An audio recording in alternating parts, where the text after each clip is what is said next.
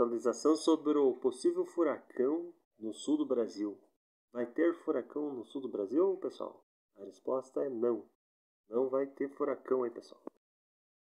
Segundo o site da Climatempo, as novas atualizações das simulações dos modelos meteorológicos para a previsão da pressão atmosférica e dos ventos analisados nesta quarta-feira, dia 31 de março, não indicam mais nenhum movimento atípico de baixas pressões atmosféricas na costa brasileira.